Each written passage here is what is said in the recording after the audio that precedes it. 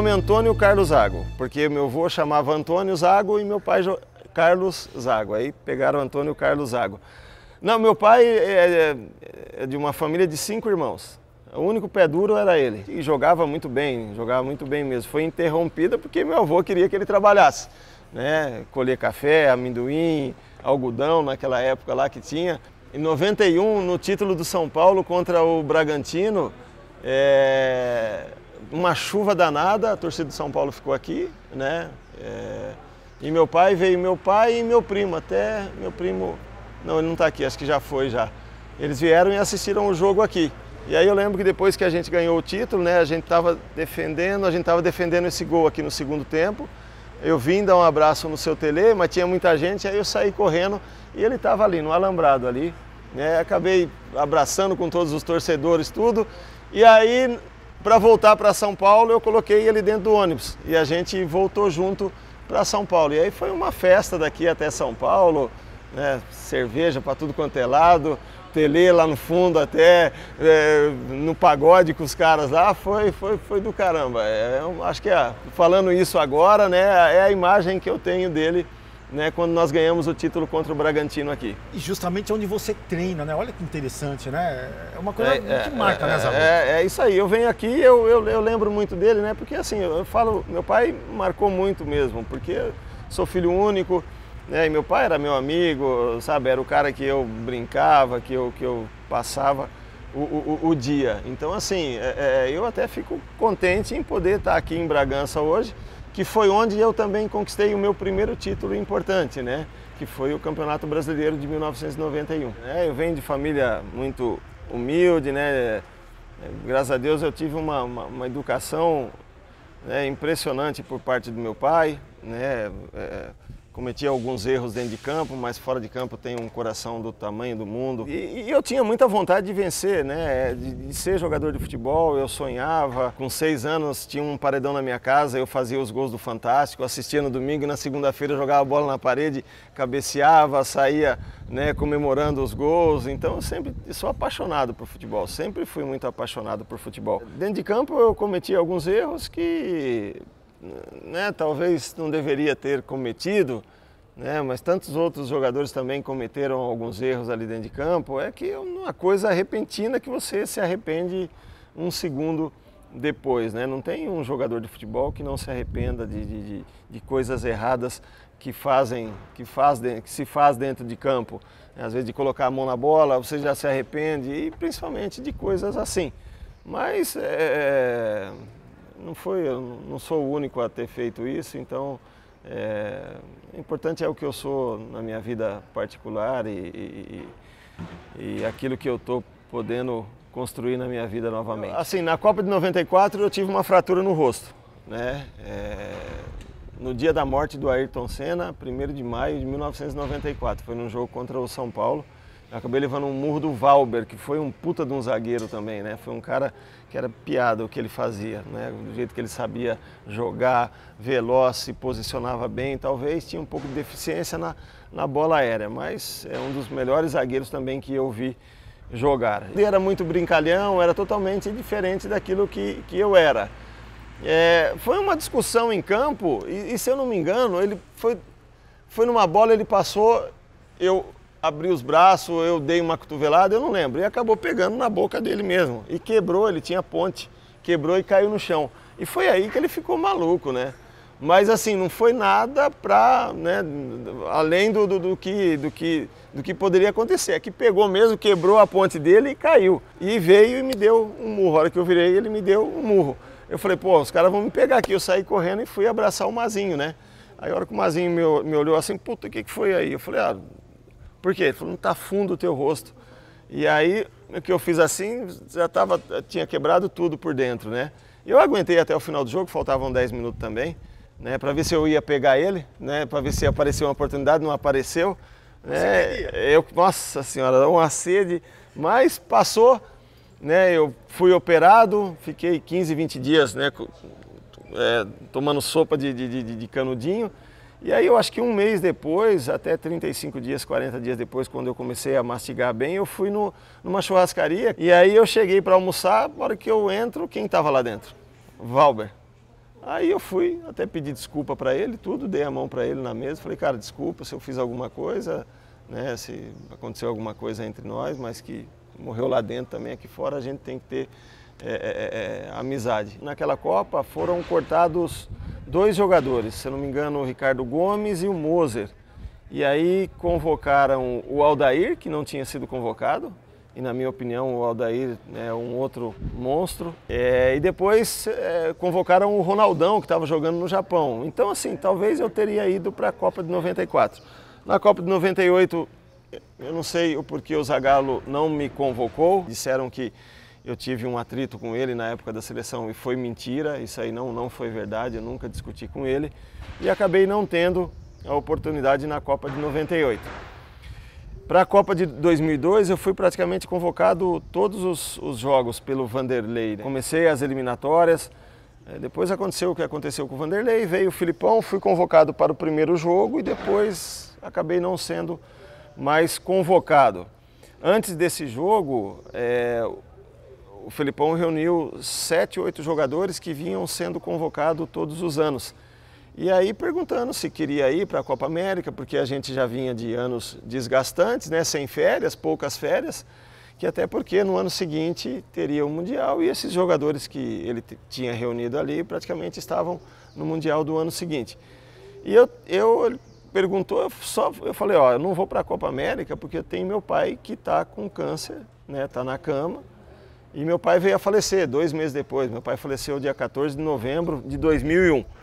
E aí eu falei, eu tenho meu pai que está na, na cama, tudo, está passando por esse problema e eu queria ficar com meu pai. Aí beleza, beleza, beleza, a gente foi para o Uruguai, voltamos, passou, falou com todo mundo e queria convocar novamente depois. E nunca mais convocou, entendeu? Nunca mais me convocou. Então assim, é, eu não fui convocado para a Copa de 2002, mas ao mesmo tempo eu pude passar é, um pouco mais com o meu pai e eu acho que isso foi, foi o mais importante. Né? Depois da, da, da Copa de 2002 também para 2006 ficava um pouco difícil, eu perdi um pouco o gosto depois que meu pai faleceu porque ele era o meu parceiro no dia a dia, né? estava em todos, os lugar, em todos os lugares que eu fui no mundo, ele sempre estava ao meu lado e assim, é, ficou faltando uma Copa do Mundo, né? Então assim, é, eu espero um dia, quem sabe, talvez, poder disputar como treinador. Ah, o Edmundo é uma personalidade, um caráter né, como o meu também, né, no, no, no grupo, no, no, no, dia a dia. Eu,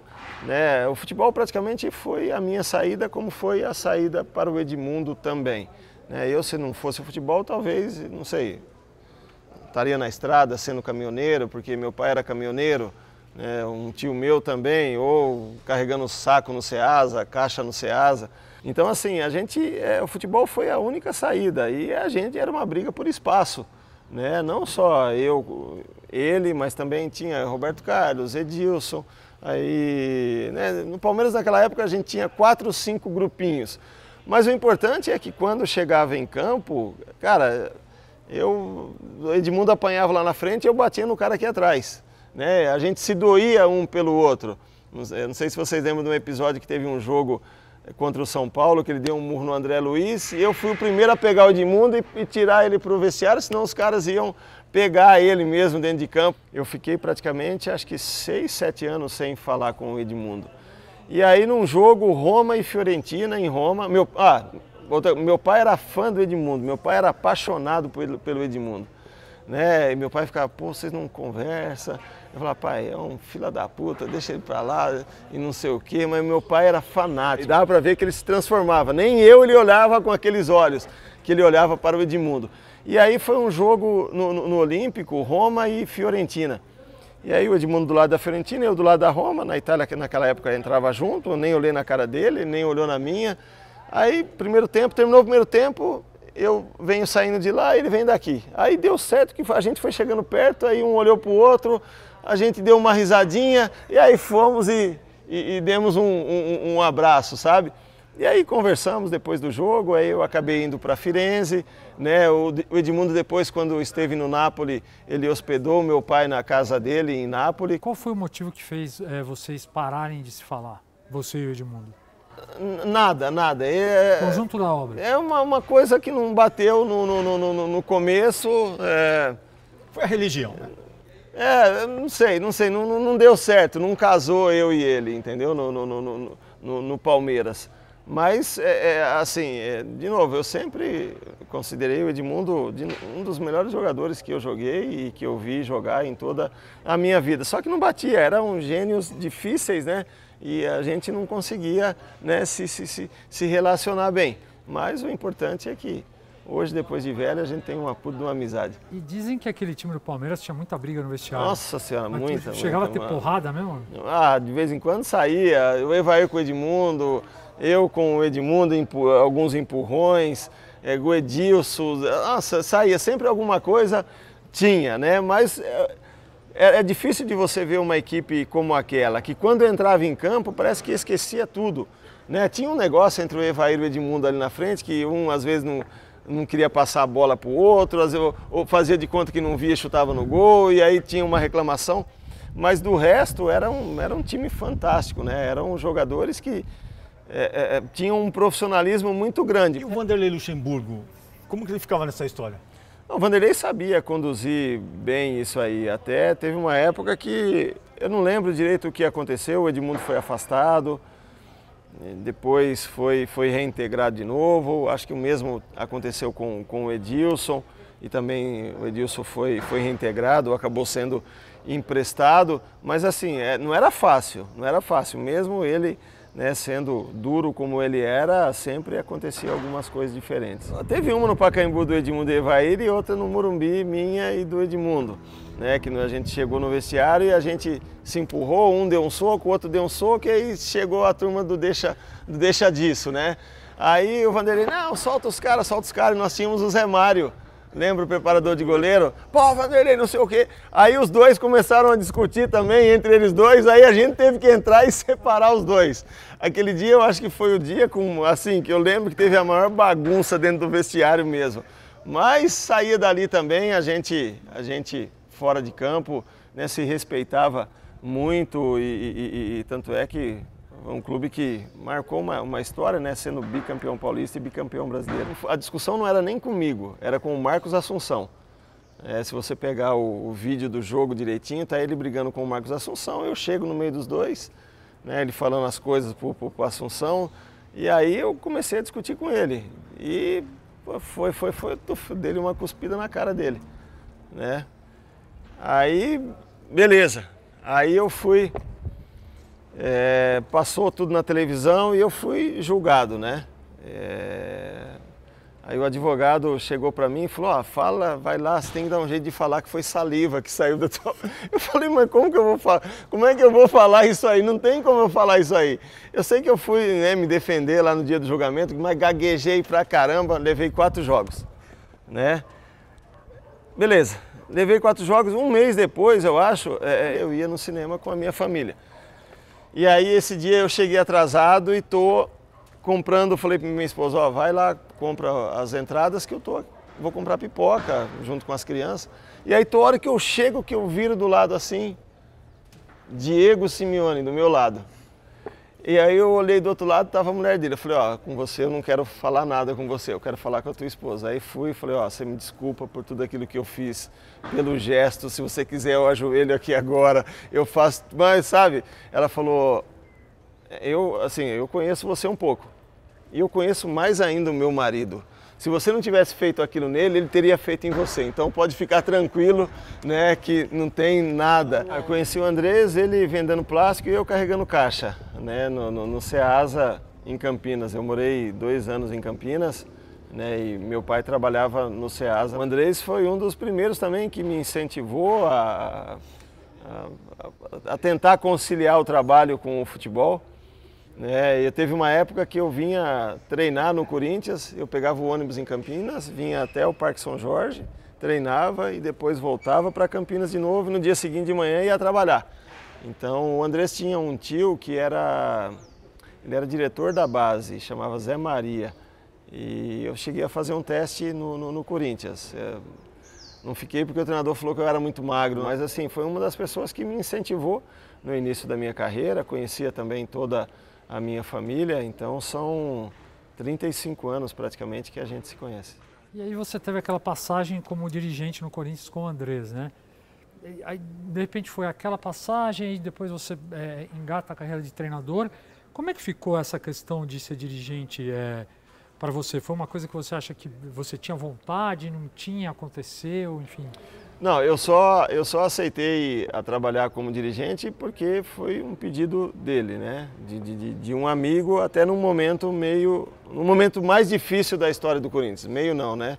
No momento mais difícil da, da história do Corinthians. Até porque é, eu, é, o presidente Marcelo Teixeira já tinha me oferecido mais um ano de contrato no Santos. Então a minha ideia era encerrar a carreira no Santos e fazer os cursos que eu fiz quatro anos depois. Né? Isso era 2008. Eu fiz os cursos 2012 e 2013 na, na, na Europa. É, para ser treinadora, meu pensamento era sempre ser treinador. Eu não me via atrás de uma mesa ali. Né? Meu negócio sempre foi, foi campo. Então, assim, a questão de ser diretor no Corinthians foi a pedido né, do, do, do Andrés. Uma experiência muito boa, acho que um trabalho, acho não, um trabalho muito bem feito, porque foi ali praticamente que o Corinthians se reestruturou. Eu lembro quando eu cheguei no primeiro dia no Corinthians como diretor, é, a, a sala de musculação era a mesma que eu tinha jogado em 1997. E isso foi 11 anos né, depois Aí a gente estruturou tudo o vestiário, né? fizemos tudo ali dentro da fazendinha mesmo. E aí começou o projeto do CT. A primeira vez que eu fui com o Joaquim Grava lá, onde é o CT do Corinthians hoje, nós fomos de bota de borracha, porque era uma, um brejo só lá, né? era uma lama só. Depois já fui é, ser treinador no São Caetano. Né? Nove meses depois tive uma proposta do Palmeiras, acabei aceitando essa proposta do Palmeiras é, que se fosse hoje não teria aceitado, até pelo momento que vivia o clube também e pela pouca experiência que eu tinha naquela oportunidade. Mas assim, tudo é aprendizado, tudo é lição de vida, né? Você tem que ir sempre procurando tirar as coisas boas. E foi isso que eu fiz né, a minha vida inteira. E do Corinthians, é, na minha opinião, foi o começo para que o Corinthians fosse campeão mundial três, quatro anos depois. Recentemente, acho que na Fox, se eu não estiver errado, você deu uma entrevista dizendo que a sua saída do Palmeiras como técnico foi como uma facada nas costas. Por que isso? Porque eu fiquei sabendo que eles já tinham contatado o Felipão antes de me contratarem, entendeu? Então acho que foi uma sacanagem comigo, né? Que tem uma história linda dentro do, do, do Palmeiras e foi feito por pessoas que eu conhecia desde a minha época que eu era jogador, entendeu? Então, assim, eu também saí dali e o que, que eu prometi? Que um dia eu volto para o Palmeiras para terminar aquele trabalho que eu comecei naquela época. Promessa está de pé, então? Está de pé. Eu pretendo um dia dirigir o Palmeiras porque é uma das grandes equipes do futebol brasileiro, porque metade da minha família é, é, é, é palmeirense e não engoliu aquela história. Cara, se você quiser ser algo na vida, você tem que estudar, né? O jogador de futebol às vezes pensa que pode parar e virar treinador, pode parar, virar auxiliar, virar diretor, e na minha opinião não é assim. Como vocês estudaram para ser jornalista, eu acredito que é, qualquer pessoa tem que estudar para poder almejar uma, uma, um cargo, uma, uma, uma profissão. Até para um ex-jogador poder ser comentarista na televisão, acho que ele tem que melhorar, ele tem que participar de, de alguns cursos, de, de, de alguma coisa. É duro o cara, depois de 36, 37 anos, estudar 4, 5 anos, né? Pô, é, é duro, mas tem que ter algum curso. Você não pode entrar despreparado em uma nova profissão. E quais são suas metas na carreira? Treinar na Europa? Se, se, se é isso em quanto tempo? Treinar a seleção brasileira em quanto tempo? Ah, tudo é sonho, né? É, é, tudo é sonho. E a gente sonha com, com tudo, né? Quem sabe um dia treinar a seleção brasileira numa Copa do Mundo, já que eu não tive a oportunidade de ir como jogador. A gente tem que sonhar. Né? Eu falo, a gente fala hoje assim, é um, treinar um grande clube do futebol brasileiro, mas eu também estou num, num, clube que está ali perto, sabe? Eu sei que é difícil entrar nos grandes mercados, Espanha, Itália, mas assim, eu joguei na Turquia, dá para, para entrar né, para treinar um time da, da Turquia, da Ucrânia. Então a gente tem esses, esses projetos e a gente vem, eu venho trabalhando em cima disso. Agora, e o Luchesco, como que foi essa passagem sua, né? Lá no leste europeu, os cursos, como que foi esse aprendizado? O Luchesco foi meu treinador na Turquia, né? De 2002 a 2000 e é, de dois, dois, anos e meio praticamente que eu estive no, no, no Besiktas. A gente ganhou o Campeonato Turco, Copa da Turquia, a Supercopa. E o Luchesco é um amante do futebol brasileiro e de jogadores que saibam tratar bem a bola. E quando eu fui para a Turquia, eu estava num momento bom também da minha carreira, né? E aquilo que eu falei, eu sempre procurei jogar, sempre tratei a bola com carinho e, e a gente criou uma, uma relação de, de amizade. É, quando eu saí, quando eu tive o convite da Roma para ser é, é, auxiliar na Roma, com o Zeman, que tinha sido meu treinador também na, na, na Roma, é, já tinha a possibilidade de um dia eu também passar um tempo com o Luchesco no Shakhtar. E o Zeman acabou saindo da Roma um ano depois, e aí o Luchesco praticamente me convidou e me pegou para que eu pudesse também aprender algumas coisas com ele, né? Vivenciar o dia a dia daquilo que, que é um grande clube do futebol europeu, porque o Shakhtar é um grande clube do futebol europeu, um clube que disputa a Champions League todo ano. E eu lembro que eu liguei nessa época para você é, com guerras, né? Isso, Essa, isso, lembra? isso, Como isso. que lembra pro telefone, né? Como que foi conviver tudo isso, né? Com você podia sair na rua, os jogadores saíam, como que era? É porque é Donetsk que fazia parte da Crimeia, né? E, e tinha os conflitos ali da Rússia contra os prós, os pró russos contra os prós ucranianos. E aí começaram os, os conflitos. A gente não chegou a pegar mesmo, né, esses conflitos. Até porque, assim, o que aconteceu foi que para ir para o centro de treinamento nosso, a gente tinha que passar por duas barreiras. Os caras com metralhadora, lança-foguete, tudo nessas barreiras. A gente passava primeiro na, na, na, na, ucraniana, depois na russa. E aí chegava no nosso treinamento. Então foram dois meses assim. Teve uma manifestação numa praça perto de casa, aí morreram cinco pessoas ali. Mas a, a guerra, mesmo os conflitos, nós não pegamos, porque eu lembro, meu aniversário é 18 de maio, eu saí de Donetsk dia 19 e dia 25 começaram os conflitos, entendeu? Por incrível que pareça, né, todos às vezes falam que o Bragantino tem a maior folha salarial da Série B, e, e não é, né? Nós somos a terceira ou a quarta, se eu não me engano, atrás do Curitiba, do Esporte. Se eu não me engano, acho que tem mais um time ainda na nossa frente, não sei se é o Vitória.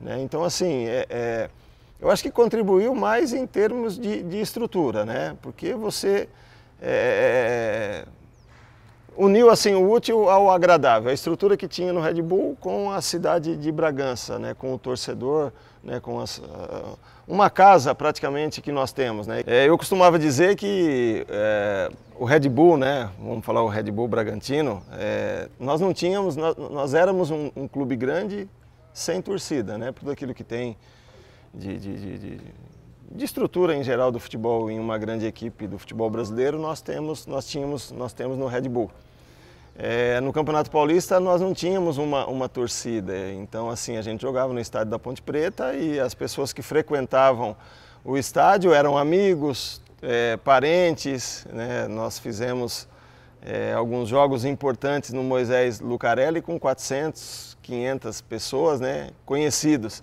Então, a partir do momento que você veio para Bragança, você tem uma, uma casa, né? você tem um torcedor, você tem a cobrança por parte da torcida, por parte da imprensa, que isso aí faz bem para qualquer jogador. E tudo aquilo que a gente fez na Série B também cooperou para que a empresa investisse mais ainda. E é o que a gente espera nos próximos anos. E é muito diferente o tratamento que a empresa dá para o jogador, para a comissão técnica, em relação, é, em comparação com os outros clubes, os clubes tradicionais. Você sente muita diferença disso?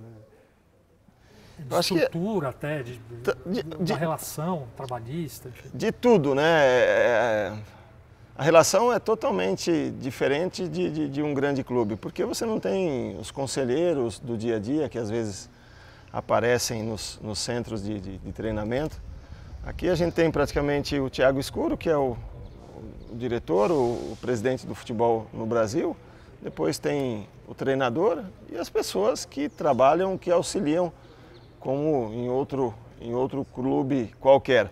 É, então você não tem é, é, uma, uma, pressão no dia a dia por parte das pessoas que estão dentro do, do, do clube. Né? Você tem mais tranquilidade para desenvolver o seu, o seu trabalho. E aqui tem toda a estrutura que tem em uma grande empresa. Né? Você tem é, parte dentária, é, plano de saúde, pagamento duas vezes por mês, é, tudo aquilo que você precisa, os caras estão é, dispostos a, a, a, te auxiliarem. Então é, é uma tranquilidade. Você só pensa em fazer o seu trabalho, que é o futebol, que é aquilo que nós estamos fazendo né, até agora. O grande clube de futebol, ele, né, você sabe bem, tem torcida. E Red Bull Bragantino, tirando o Bragantino, uma pouca torcida. É, eles não estão preocupados com torcedores, assim, com número de torcedores, e sim com esse, esse planejamento, essa estrutura e títulos. É isso? É, e também revelar jogadores das categorias de base, né? Isso aí é uma, uma política que eles têm desde que, desde que nasceu praticamente o Red Bull aqui no Brasil. Né? Investem muito nas, nas categorias de base.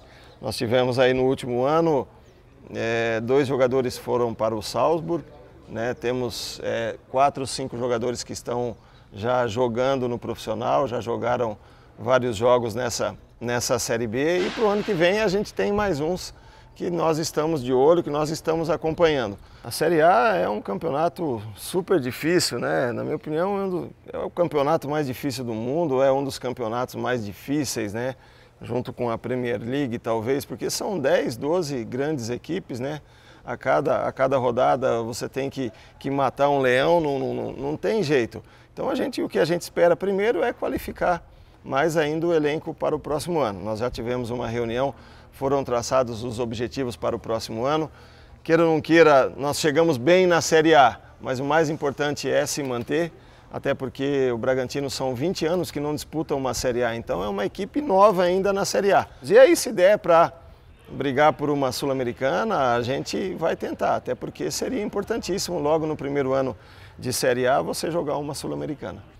Bom, eu acredito que dá para você é, jogar futebol e ao mesmo tempo é, não levar contra-ataques, não se expor tanto para o, para o adversário. Isso nós fizemos na Série B, que é assim, é um campeonato inferior ao da Série A. Né? É, às vezes a gente aqui no Brasil é, a maioria das vezes que a gente conversa, às vezes você joga com três zagueiros, todo mundo pensa que você é retranqueiro. E às vezes com três zagueiros você pode soltar mais os laterais, você pode ter dois volantes que cheguem mais um pouco na área. Depende tudo daquilo que você tem como filosofia de jogo. E o que a gente espera é jogar um futebol bonito, né? Eu acho que o jogador tem que ir para campo e se divertir. Né? Aquele negócio de eu roubar a bola, que os caras falam hoje, dar a bola para o adversário, não passa na minha cabeça. O futebol não mudou tanto daquilo que era há 20, 30, 40, 50 anos atrás. Mudou a intensidade. Mas algumas coisas que eu falo para os jogadores. Primeiro o goleiro tem que pegar com a mão, senão, não, né, para mim, tem que, tem, primeiro tem que agarrar, depois vamos jogar com os pés. Zagueiro tem que ser firme lá atrás e depois jogar. Né? Lógico que é, é um treinador experiente, dirigiu grandes equipes do, do, do, do, futebol brasileiro.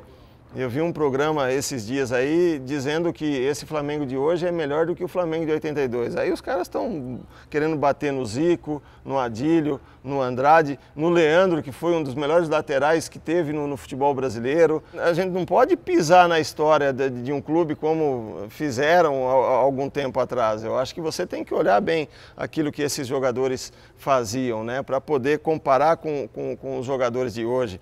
Nós tivemos uma seleção que não ganhou um título, que foi a seleção de 82, que encantou o mundo. Nenhuma seleção ficou marcada por não ter ganho um título como a seleção de 82. Então ninguém está inventando futebol hoje. Eu acho que ele tem umas ideias boas, pegou uma equipe né, com grandes jogadores, soube encontrar a posição desses jogadores em campo.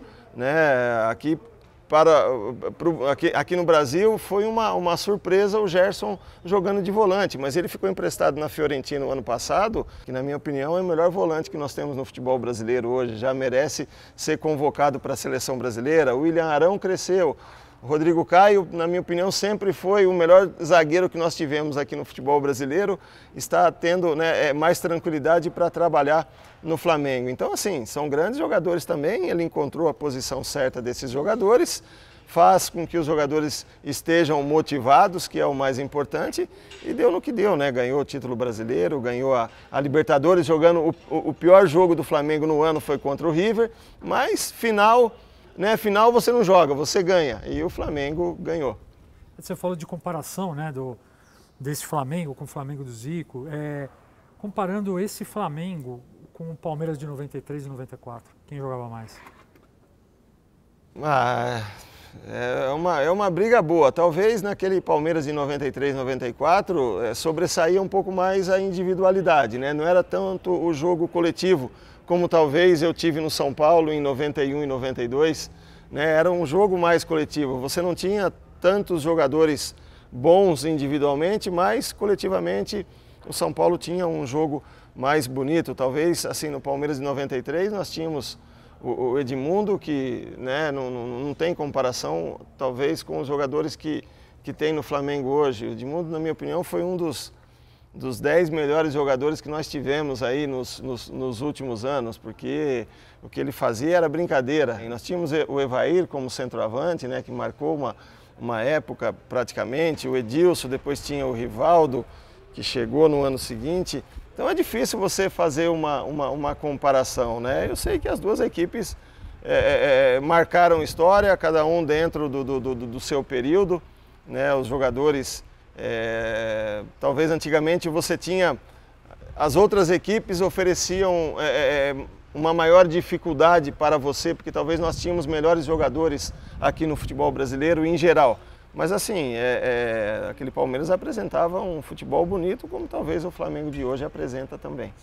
A gente acho que não pode lutar contra a globalização, né? É, é treinador brasileiro sempre teve mercado fora, na, na, na Arábia, no Japão, é, nos Emirados, na Europa, trabalharam grandes treinadores, né? Carlos Alberto Silva, é, Jair Pereira, se não me engano, Paulo Autuori, Felipão foi o último, Vanderlei Luxemburgo é, teve no, no, no, Real Madrid. O que eu acho é assim, é, né, em relação a, aos brasileiros irem para fora. É, por exemplo, nós tivemos aí um ano, dois anos atrás, é, brasileiros que foram para a Arábia. Com três meses apareceu uma proposta aqui do Brasil, os caras abandonaram lá e vieram para cá. Aí fecha o mercado para quem quer ir lá, né? Aí você vê um português que vai trabalhar na Arábia ou um argentino que vai trabalhar na Arábia, ele fica os dois anos de contrato, só se aparecer alguma coisa exorbitante para ele poder sair de lá. Né? Então, assim, eu acho que a gente também tem que ser um pouco mais profissional, né? Nós temos dois grandes treinadores estrangeiros no Brasil, que é o Jesus e, na minha opinião, o Sampaoli, né, com um trabalho melhor do que o Jesus, porque o Sampaoli não tem os jogadores que o Jesus tem, né? Se você pegar no início do ano, ninguém colocaria o Santos na Libertadores para o próximo ano. O que eu vejo, às vezes, é a análise, que, que é um pouco mais de paciência. Né? A imprensa talvez tenha um pouco mais de paciência para analisar os estrangeiros e não tem essa paciência para analisar os brasileiros, entendeu? Né? Porque dos estrangeiros o cara fala, ah, o Jesus abriu não sei quem, colocou não sei quem para dentro, e aí quando um brasileiro faz isso, não é, não é como, como fala, não é marcado, né? As pessoas não falam, só falam das coisas ruins que, que, que, acontecem. Então acho que tem que ter a mesma análise né, em relação aos estrangeiros também. Nós hoje temos um, os cursos aqui no Brasil, já hoje é, podemos dizer que são compatíveis com o, o, os, da, os da Europa, mas assim, é, é, a nossa classe eu acredito que vem melhorando nos últimos anos. Né? O Thiago com um puta de um trabalho no Atlético Paranaense, o Renato foi para o Grêmio, se eu não me engano são três anos, três anos e meio no Grêmio. Queira ou não queira, o Mano foi mandado embora do Cruzeiro há seis meses, um ano atrás, mas tinha feito um excelente trabalho no Cruzeiro, eram dois anos, dois anos e meio que ele estava no Cruzeiro. O Roger né, é um treinador também que tem uma, uma, uma ideia muito boa em relação é, é, ao futebol. Então a gente vem crescendo. Na minha opinião, a gente vem melhorando. É que falta, às vezes, ser um pouco mais valorizada a nossa classe.